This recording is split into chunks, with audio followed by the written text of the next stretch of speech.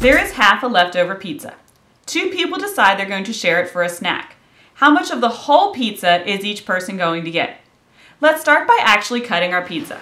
If we cut our pizza equally amongst two people, we can see that each person is going to get one-fourth of the whole pizza. We could also solve this as a division problem. When we divide, our dividend tells us how much we have, which is half a pizza. Our divisor tells us how we're going to share it, which is with two people. So this means we're solving one half a pizza divided by two people. Too often when we divide, we tend to rely on the large number coming first. That's not always going to be the case.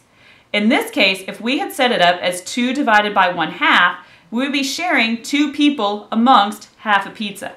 That doesn't make sense, so we're dividing half a pizza amongst two people. In order to solve 1 half divided by 2, I need to change my division problem to a multiplication. When I do that, my dividend of 1 half stays the same. My division problem becomes multiplication. In order to take the reciprocal of my divisor, I first need to make it into a fraction. 2 becomes 2 over 1, and then I can take the reciprocal of it, which is 1 half. This means we're solving 1 half times 1 half. Now we can follow our rules for fraction multiplication. Multiplying our numerators, 1 times 1 gives us 1. Multiplying our denominators, 2 times 2 gives us 4. This means whether we set it up by actually cutting pizza or solving the division problem, each person gets one-fourth of the whole pizza.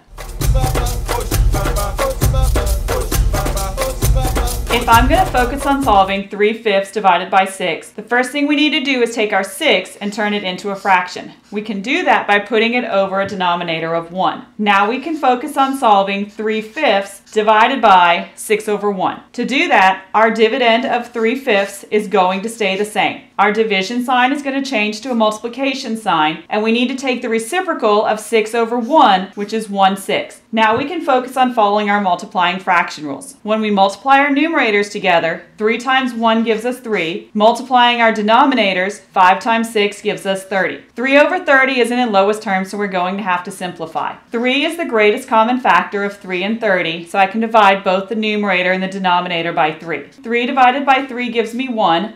30 divided by 3 gives me 10.